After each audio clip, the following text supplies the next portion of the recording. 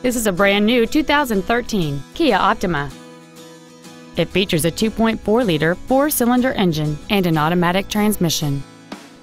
All of the following features are included. A low tire pressure indicator, traction control and stability control systems, cruise control, dual airbags, three-point rear seatbelts, rear seat child-proof door locks, air conditioning, a rear folding seat, full power accessories, and satellite radio.